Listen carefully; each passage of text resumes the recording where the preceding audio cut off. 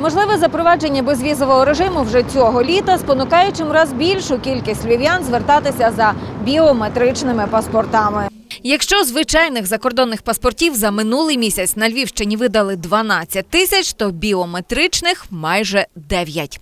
Пані Ганна до подорожей без візи вирішила підготуватися завчасно, бо має родину у Польщі. А поїхати до них без візи можна буде тільки з біометричним документом. Про те, що доведеться здавати відбитки пальців, жінка знала, але застережень не мала жодних. А що ще бояти? Та мене ніде не занесуть. Тобто для вас це не, не Мені важливо. страшно, що мені страшно має бути. Я живу така людина, що я ще маю бояти. Раз до того, то треба і знімати. Саме відбиток пальця, а також оцифровані фото та підпис і відрізняють біометричний паспорт від звичайного. Замовити його можна і дитині, але до 12 років відбитки пальців не обов'язкові.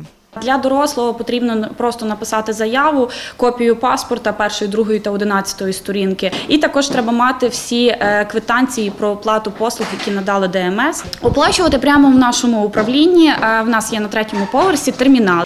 Виготовляють біометричний паспорт 7 або 20 днів. Відповідна і ціна 561 гривня або 818. Це лише на кілька десятків гривень дорожче за звичайний закордонний паспорт, але документ з електронним чіпом, убезпечений від підробок. А ті, хто вже ним користуються, кажуть, що клопотів на кордоні він не додає.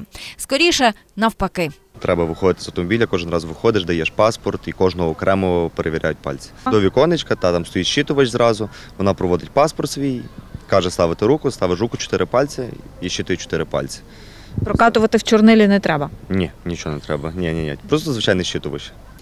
Проте навіть із біометричним паспортом безвізовий режим дозволятиме лише 90 днів перебування за кордоном упродовж півроку. Йдеться тільки про подорожі чи гостювання. Для роботи або навчання потрібна буде віза. В'їжджати зможемо до усіх держав Євросоюзу за винятком Великобританії та Ірландії. Водночас чинними залишатимуться і паспорти старого зразка. Ірина Ващишин, Олег Кухар. Головні новини Львова.